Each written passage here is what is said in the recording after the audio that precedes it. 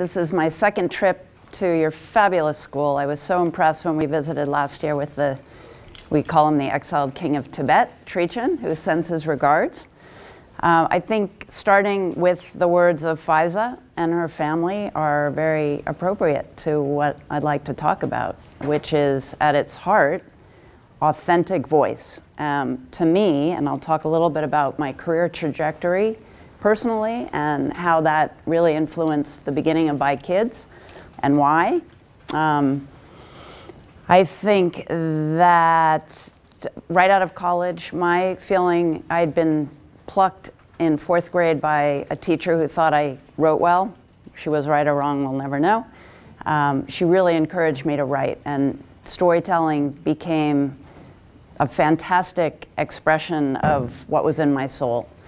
Um, and so my fourth grade stories, which are embarrassing to look back on, really were the beginning of what I think was the germ of real storytelling. So I was able, because I had the privilege of going all the way through this fabulous high school and then on to a fabulous liberal arts college, that's a luxury, right? And I then, I think, when I decided that writing and journalism was where my passion lay. I was very fortunate to get a job at the New York Times. Now, those of you just about ready to enter the workforce, and maybe those of you in the workforce can sympathize with the fact that you go to a place like the New York Times and they have a long line of people who are dying to work there, and they put me to work sorting the mail. Um, and I sorted the mail for a really long time, and I would go home I was at that point, yeah, I was getting paid $17,000 living in New York. I couldn't afford an apartment, so I was actually still living at home. And I would literally go home in tears to my parents and say, I'm so privileged to be around all these people, but I'm sorting the mail. I didn't work since fourth grade to be a writer to sort the mail. And my dad, I think, gave me the best advice ever, which was keep smiling, but most importantly, keep asking questions. And that was really what caused me to just make friends and learn. If you go through life saying, tell me about what you do and why you do it and how far from what you're really passionate about is it, you begin to really be able to write your own script a little bit better. Um, so lots of years at the New York Times, amazing people, and I will share with you, this is public, right? This is gonna go online. All right, so I'll tell this, you guys can, I'll tell it privately when I'm off mic. The bottom line is the New York Times is a bastion of white male privilege, right? And I began to see that that if I was striving for authentic personal voice, having a white guy fly very briefly to a country that it, he or she knew nothing about and putting it on the front page of the New York Times as if that was our only source of information began to strike me in a pluralistic democratic culture as, let's not say dangerous, but flawed, maybe even dangerous. Um, so I, I think in that process of seeing how on some level superficial the news media was in my personal experience um, and how limited the scope of international foreign news coverage for the American public. You know, the New York Times, in the course of the years that I was there, was needing to figure out revenue stream, right? And the easiest way to save money is to close the office in this country and then that country. And so what was happening is if you're relying on a place like that, which a lot of people rely on, and they're not actually out in the world feeding the pipeline, we're, we're all disadvantaged. So that became a very important piece to my professional life. Um, I then, fast forward, thank you, John, for the wonderful introduction, realized that if you're spending all your time and money to spend your free time at film festivals and watching film, maybe that means you should make your money and make your career the filmmaking. so, you know, got smart after a long while that filmmaking to me was a much more vibrant way of delivering story. Uh, I didn't quite understand how important it was going to be come to me that it became very personal. So any kind of documentary film. I remember seeing Roger and Me was Michael Moore's first film, and just it literally blew me away that it could be it, all you got. Everybody in this room may be too young to remember the old um, public service things that they used to show us in school. They were black and white, no joke, from the 1940s. Jiminy Cricket teaching you not to smoke. And that kind of was my idea what documentary film was. We then had Ken Burns, who began to change the way it was delivered, that it became more about, you know, when he made the Civil War, it really was about going into the archives and finding letters, uh, personal letters of confessions of love and, and hopes for the future. That was something remarkably different, at least from what I'd been exposed to. And it really set off the, the lights for me that documentary film was a way to deliver a message in a really potent and impactful way. Now, fast forward two little pieces that don't get written about on our website much. I had, my husband and I had two youngish children at the time, so BYkids started eight years ago.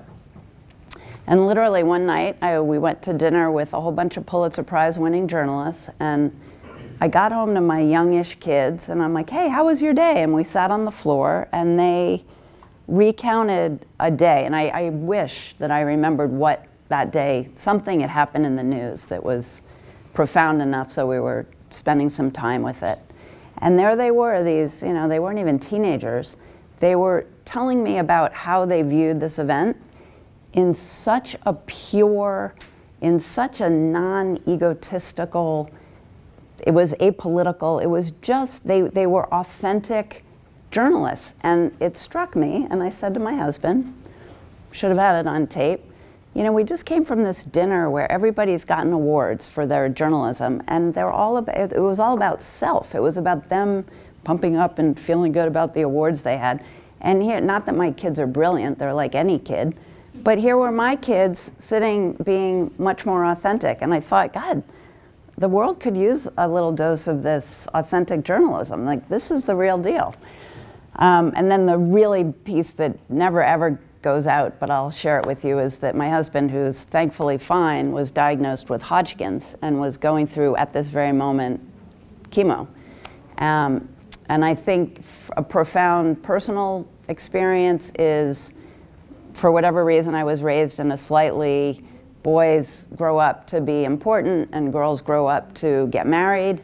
Kind of that was a little bit of my dad's philosophy. So I've spent a large part of my life overthrowing that belief.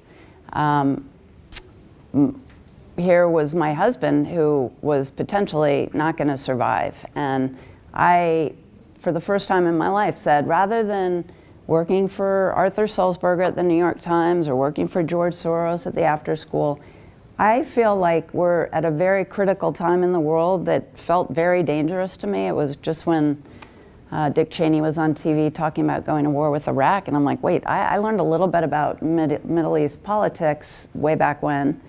The story that he's telling is slightly different than, and do, do you know? Do, does that make sense to you? And everybody's like, oh, they know what they're doing. I was like, no, I actually really believe, having had ancestors come here on the Mayflower, that we really do have to be engaged citizens, and it's on our shoulders to participate, and the light bulb went off that you're not able to participate fully if you're not getting what you need. So all of that went into the blender. We turned it on fast. I got brave enough to start something on my own, which was the personal piece that I was alluding to. And BYkids was started for these following reasons. One is I wanted to fill the gap of international news that was I didn't see coming to American people. I have huge amounts of respect for young people and was seeing that I think we underestimate how hungry young people are for really sincere, full stories that we've dumbed it all down, but particularly for young people. And it occurred to me that in the life of at least my mainstream media career, I had never seen the voice of a child being used to speak for the many. And it struck you know, whatever social activism. I think I, I think my mom took me out to protest against the Vietnam War in front of Lowell Weicker's office. I was maybe five. Um, that that piece stuck. That we really do have a responsibility as as members of a democratic society to do our part, and this was what we decided was important. So off we went. We made five films. Faiza, our wonderful filmmaker that you saw a little bit of, was the fifth film. So we've done a film in Mozambique done by a young boy who lost both parents to AIDS and talks incredibly movingly about what it means to have a family that's not traditional. So both parents are dead.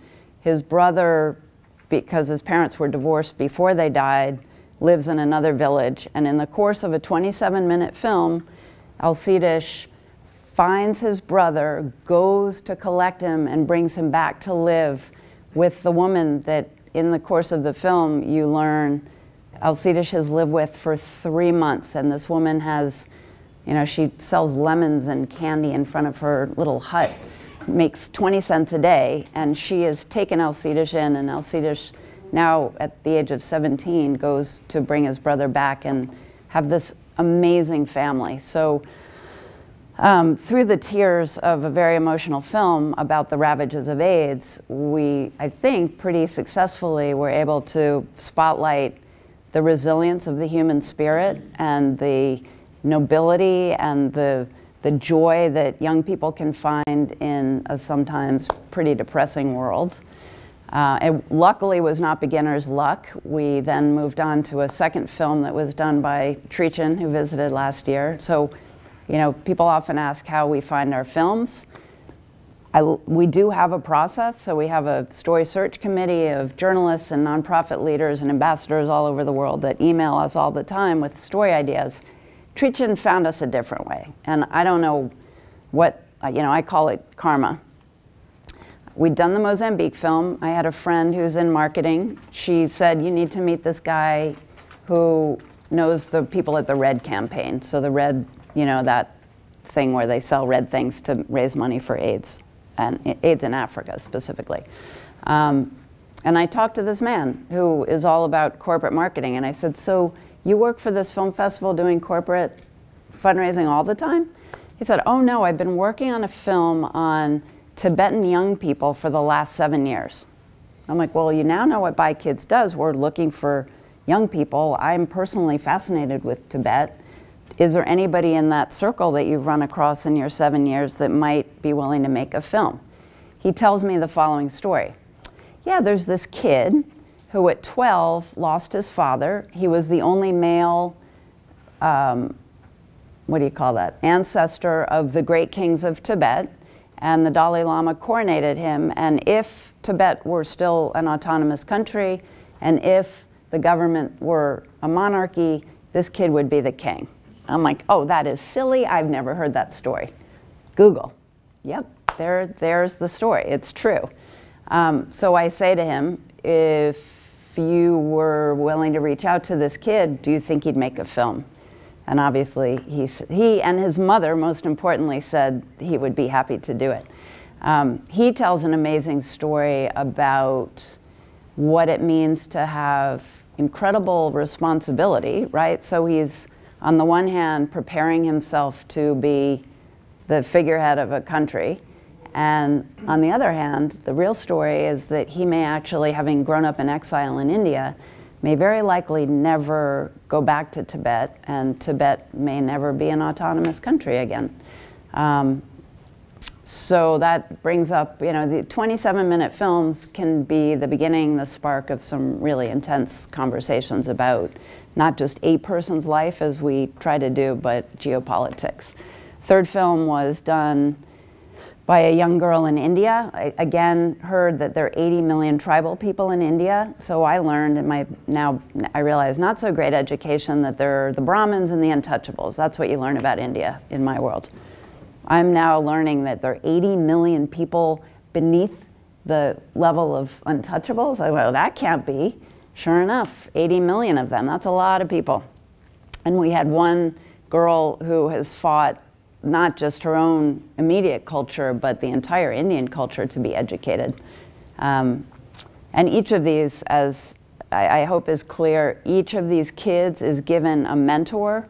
They work together for a month very intensely so that the mentor really channels their creative genius and guides the kid not only to figure out what their story is that they want the world to know and how to frame it. You know, for those of you in story in real active storytelling, stories need a beginning, middle, and an end, and you need to know how to harness it. Particularly in the case of film, you need to be able to match visuals with that story arc. Uh, they work together doing that. The kid shoots, writes a script, and then narrates the film. So what, what you've seen is all Faiza's, she's the director, the cinematographer, and the narrator. Uh, and then oversees the editing, which is very exciting because they say, Yeah, I, I, don't like the way I look. And you're like, No, that's crucial or not. um, and our, let's see, our fourth film was done by a girl who was displaced by the drug war in Colombia and Faiza's film. And I'll, I'll tell you anecdotally that, you know, I, I often say that the art of documentary filmmaking, you shoot and you shoot and you shoot and you shoot, and even with the best mentoring in the world, you don't always know what the full story is until you're in the edit room. Uh, and the magic really happens there. And I, admittedly, I'm not very bright. So because the film, for the first time, was being done in my home city, I was able to participate unusually while it was being shot. Um, was mentored by the legendary Albert Maysles, who died very shortly after he mentored Faiza. It was an, I mean, think about an 86 year old Jewish guy mentoring an 18 year old Muslim woman. Like that alone was crazy. As it was unfolding, there was an experience where we, we, we weren't filming yet. We were just having Albert meet Faiza, and Faiza comes to Albert's office up in Harlem. And Albert, for any of you who know his work, is one of the most humanistic people. And when referring back to this idea that if you're curious about people and are willing to put your hand out and say, I'm Holly, what's your name and what's your story, could go, I mean, that alone could bring world peace. And Albert was a master at saying, hey, what's your story? And really listening. So we have Faiza come, and she comes with her you know, you can see she's got real style, right? The headdress was always really well thought out, and her Converse sneakers, which I don't think you saw in the little bit here, her Converse always matched the headscarf, and she's so groovy. She walks in with all the confidence in the world and sits down with Albert. And I'm a little bit nervous. Like her family has obviously agreed that this is going to be okay experience for not just Faiza but the family. And they sit down to talk. And here's a, little snippet of what they talked about.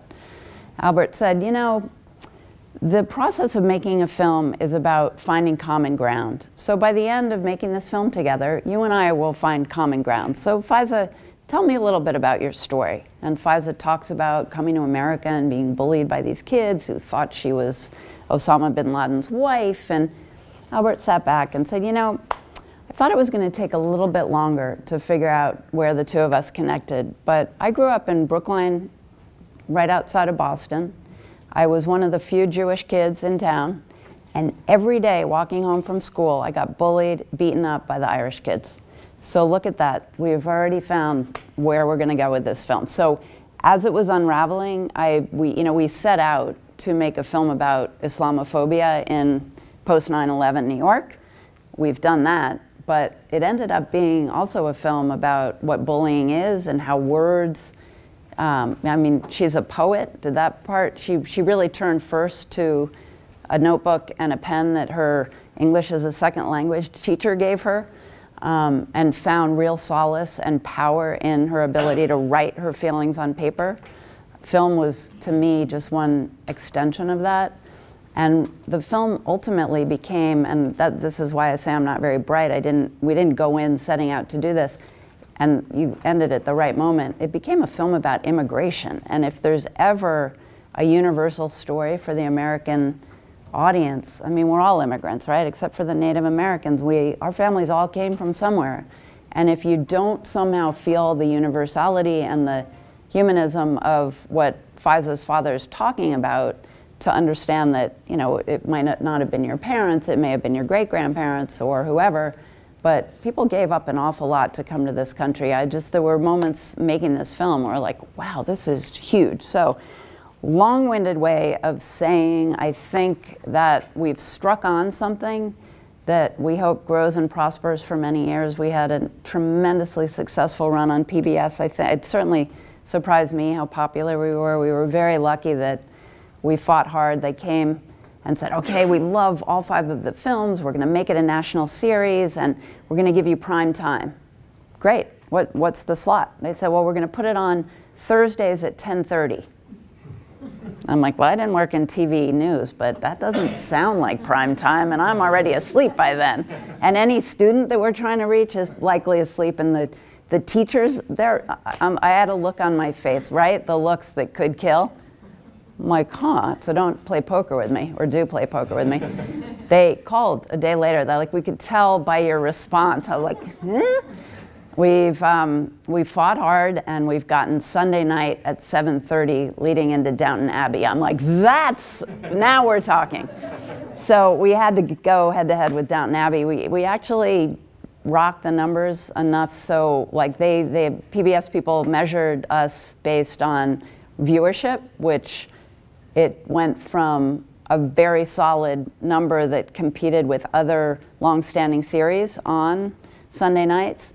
It went to six times as many viewers the next week, which means that everybody that watched told six of their friends, which is crazy cool, right? But the real metric they use is Facebook engagement, and you can double check, you can corroborate my facts. Downton Abbey gets like 2,000 Facebook things every Sunday when they're on. We were getting 20 and 40,000 people. So the PBS people are like, wow, this is so important and, and it, it's working. You know, if we're really trying to move the dial on uh, empathy, which is what we're really all about, and we're trying to open American young minds to things in the world. Our firm belief is the way into people's hearts and the way into actually changing people's behavior. You can't just talk at them, you have to actually speak to their heart. And what these kids do by telling their own story in a unguarded, very intimate way, I mean, you're in their house, you're, you're with their family, you, you're in Faiza's bedroom.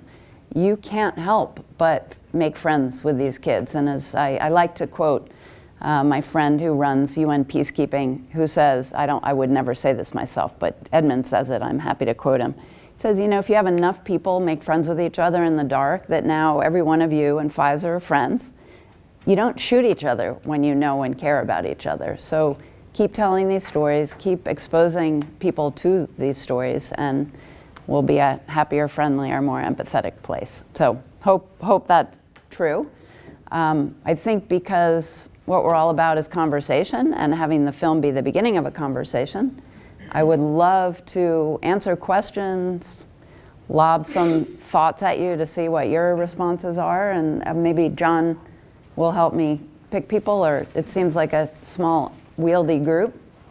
Um, and feel free, you know, I've, I, I, I hope I've explained the premise of BYkids enough. I hope I haven't bored you with my progression professionally. Um, but, and fair game, you can ask me anything. Yes? What's next? Oh, good question. So, the art of being the head of a small nonprofit is fundraising, right? So, I spend 90% of my time raising money, and I spend 10% of my time making fabulous films. We've gotten far enough along so people, we don't have to start from zero. Um, PBS is excited enough about it, so they're helping fundraise. So we are already well into the way of season two. And I will tell you that we've got, we're editing a film that was done by one of the former mentors who did the India film. When we have a 12 year old girl in Nicaragua whose family is part of the coffee growing community being devastated by climate change. And I have personally needed and wanted to tell the global, you know, climate change is really the biggest problem we have, right? It's very hard to figure out, or it was until we stumbled on this, how to tell that story with a kid who may not understand the context.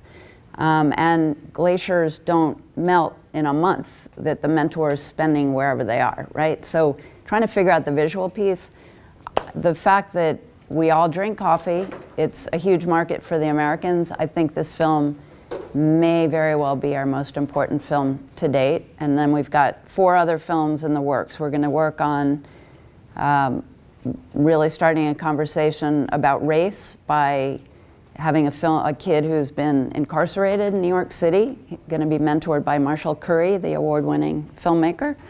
We've got a young boy in Bhutan who is studying to be a monk, and the fact that Bhutan was this Shangri-La closed culture without television until 1989, and the king decided that TV was cool, uh, and everything changed. So the fact that this boy is choosing the old-fashioned way will be an interesting journey. Um, indigenous people in Guatemala. Uh, we're looking for a film in Brazil if anybody has a good idea. We have a mentor who only wants to go to Brazil. Um, and I'm forgetting a few, but fundraising so that we can make these films. And season two will be sometime in 2017 and on from there. When your filmmakers start filming, do they, what's their concept of who's going to be the audience? Uh, you might think at first it might just be kids, but I'm sure a lot of adults are pulling as much and different messages maybe from the films. So, you know, we are very transparent about what our purpose is. I mean, we're trying to make Americans, particularly young Americans, smarter about the rest of the world. So when we talk to any potential filmmaker, we and their family, we say, you know, we're trying to use your particular voice to speak for your entire community, your entire culture, um, and we want as many people, not just in America. I mean, we're, we're teeny. We're a teeny little nonprofit. We have successfully checked the box of the American audience and are happily working on an international audience. Personally, it's most exciting to see that kid's film back in their own community because you know they're, uh, they're, I'll talk a little bit and this applies to anybody doing journalism. I had a few worries about this. Like what does it mean for the kid? Like we go into a community there are 80 million tribal people in India.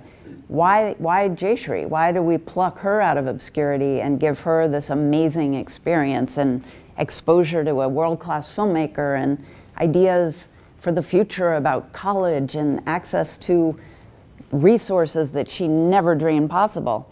That's a moral issue, right? And we've had to be very thoughtful about how we make sure that the community doesn't feel that, you know, we're not we're not knighting a star. We're not we're not doing a reality show. We're letting that kid speak for their community. So when we've shown the films and the community embraces that, I mean, I often say that um, our first film was done in Mozambique, and I remember that it was um, produced by the executive producer of Law and Order SVU, was a big Hollywood guy, and he called me, literally landed back in Hollywood and called me from the tarmac. He said, you know, I, I understood how this would affect the kid's life.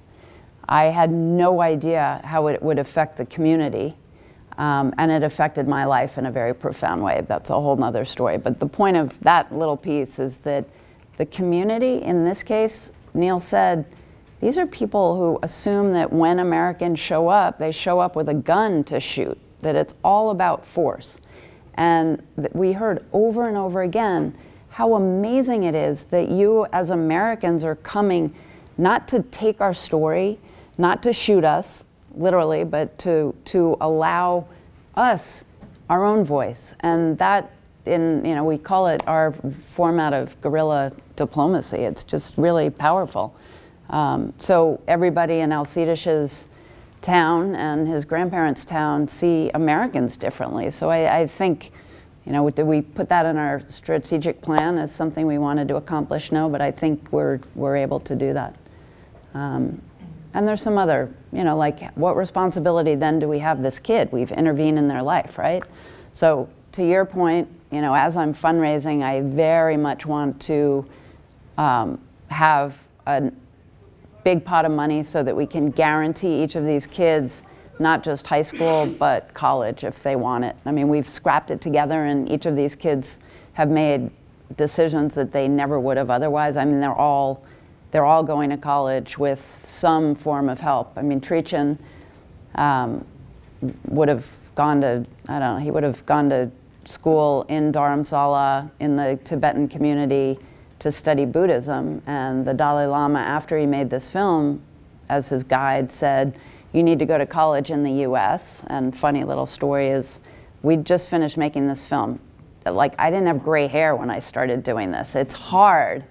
I get a call from his mom saying, So, His Holiness says he needs to go to college in the US. And by the way, my two kids that I talked about hadn't yet gone through the process, so I had no idea how to be a college looker. I'm like, wait, what? Like, now really I'm his mother? Um, and by lots of good fortune, we found a boarding school for him that gave him a three year full, full ride, and he's now in college in the US on full scholarship. Um, so we're able to pull it off, but it would be nice if we could actually guarantee it as a moral thing. Um, but we're working on it. Yes? Do you plan on revisiting these people in maybe five or ten years from now? 'Cause I think it'd be pretty interesting to. Uh, it, filmically? Yeah. Yeah, we, um, obviously- where are they now, Yeah, that's a great idea. I mean, I think uh, at the end of each of the, the when what you see, uh, if you go on to the 13.org website, um, is the slightly recut version. And in each of the five films, they have a little bit of a coda as to where the kid is. I mean, some cases, Alcides made his film six years ago. Alcides is now married and has a kid and has his own film company in Maputo they didn't put that in, but you know these kids are it's it's a big old family, and they but it would be nice to revisit it filmically. That's a good idea. We try to do it a little bit on the website, but it would be nice to do it more robustly. Good idea. Thank you.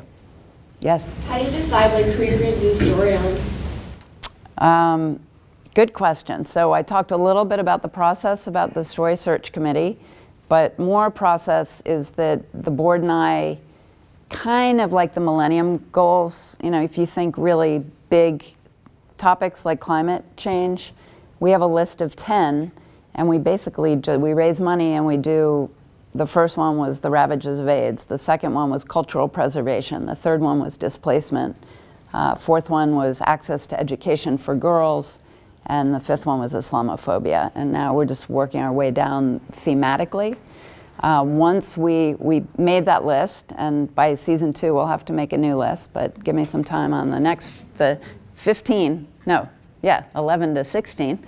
Um, we then decide on a country. You know, a whole lot of this is about having stories that haven't been covered. So, an example, we were knowing that we wanted to do a film on displacement, and at that point, George Clooney was flying back and forth to Darfur, and we were beginning to really understand the dynamics at work in the Sudan.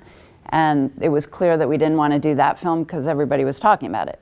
Um, and in that case, one of my board members is Colombian. And at the board meeting that we were talking about how to do the displacement film, he said, Do you know that Colombia has the second largest displaced population in the world? I don't know anything now, but right? I go back to, to Google, sure enough, he's right, second largest displaced population. Um, and he, said, he followed on by saying, Do you know why? And we're all like, No, why? He said, Well, because Americans and Europeans do drugs, and it's been fueling a drug war in Colombia for the last 40 years. And so, for the first time, why don't we do a film where the cause of this girl's displacement is America, right? So a high school kid can watch that film and say, oh, by me doing this, she's doing that. That loops it back in a really interesting way. So off we went. Um, we then, once we've decided on the country where the story is not on the front page of the Times, we then find a nonprofit to partner with, and we work hard with them to find a group of kids that we can choose from. We usually narrow it down on paper because any of you in the film business know that film is a very, like, people can look fabulous on paper, and you get into the room and they, maybe the mentor and the kid, they don't like each other's smell or they, whatever, reminds them of their terrible second grade teacher, who knows what. there's a lot of chemistry that goes into it. Um, so we usually narrow it down to about five kids and then let the mentor pick the filmmaker when they get there. Um, the first time we did it, Neil, this guy that I'm talking about, a major Hollywood guy who makes decisions all the time, he kept calling me like four or five times a day before he left. He's like, I, I'm just so afraid that I won't know how to pick the kid. I'm like, you you, you tell Mariska Hargitay every day what to do. How can you be afraid of anything? And um, we, we Skyped, the, I guess it was the third day they were there. He's like, oh, I figured it out. Here's how you pick a director. You find the kid who can boss everybody around with a smile on their face. I go, that's, that goes into our best practice. Um, so we then pick the kid and then we pair the mentor who, you know, A, has the time to be away for a month when the timing is right. And, you know, in the case of some of these mentors have the language capability, and then off they go. So it starts thematically and it ends with chemistry. Good question. Yes? This is on the search aspect. Um, I was wondering, does your team ever look at social media to recruit stories? Because like we as millennials, we're, we're basically recording our life most of the time. Do you guys ever look at that to like cultivate stories? Mm, I won't say no, but I don't, you know, we're not trolling social media to find stories. Um, we've used social media to try, you know, once we've decided what the theme is, we've often used social media to find people. You know, like teachers are actually really good resources. I, I, you guys are probably way cooler than the teachers in, in my immediate circle of advisors teachers are not typically on social media where the kids are. Um, so that's not how we reach the teachers. We send them a good old fashioned email and say, in the case of FISA, it literally was a call out to any New York City teacher I knew. I said, We're looking for a Muslim girl who's willing to be in a room with an old Jewish guy to tell her story. And we got a lot of response and met a lot of kids, and FISA was it. So uh, doesn't mean we won't do it, but we haven't to this point relied on it. I mean, it, that, yeah, we're, we're kind of coming at the story because it's thematic first. Uh, we, uh, yeah, not yet, not yet. That's the answer.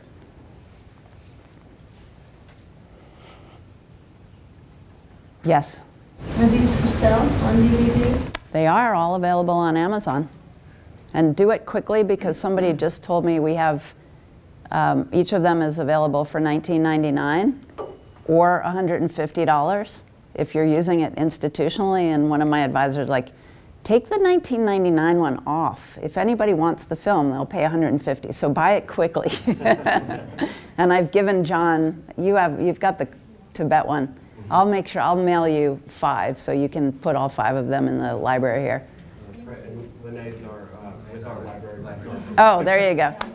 And they're also, um, we did a deal very early on with Discovery Education. So there's, if you subscribe to Discovery Education, they're all available with the school guides there for free. Yes. Hi. um, so I, I, kind of wanted to touch a little bit on, um, I think for a very long time we kind of thought about prejudice as, as you said, white male privilege. And uh, a part of the, the struggle was to get other stories heard. Uh, people who are marginalized or people whose opinions or point of views or stories may have been left out. And sometimes I think we touch on things in our classrooms where I hear today from a lot of young white males who don't feel privileged, who feel kind of somewhat displaced themselves. And I have three sons as well who um, I kind of have to explain to them what white privilege is. Um, so I'm wondering how even the conversation about uh, prejudice is changing and how in, in terms of being more inclusive, you know, we're trying to include more voices and we're trying to, um, and you know, for a lot of young men who have felt sort of, you know, that that's not me, I'm not the one beating up FISA in the school ground, you know, I, I don't want to be the brunt of, um, you know, that vehicle of prejudice. And I'm just wondering if you do any focus groups with your, because um, I hear that a lot from young men in my classrooms, and I'm just wondering if you do any focus groups or thoughts on that, on how just the whole dynamic of prejudice is changing.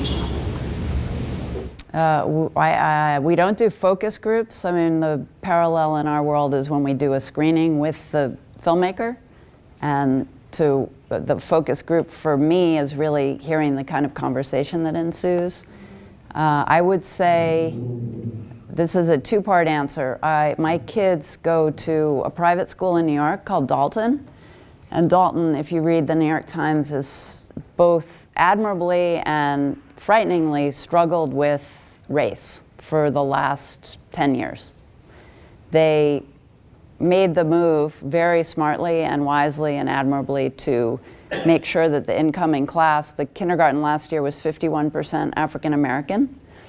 What we've all learned is that that's step one, and if you don't actually incubate the whole ecosystem, you're gonna run, I mean, you're gonna run into problems changing any culture, but that became really, really clear to everybody. And it's taken, we've been there 15 years and have slowly seen. So we, as a family, have learned how to talk about any kind of discrimination. I mean, I, I, I had to, we, my family exposed us to difference by having fresh air kids. And we had a, a kid from Spanish Harlem and a kid from Harlem every summer. And I, you know, I, I think that really helped me just as a human being understand that Monty and Jean were just troublemaking teenagers just like my friends. And the fact that they came from different kinds of families was just something we could do around the dining room table.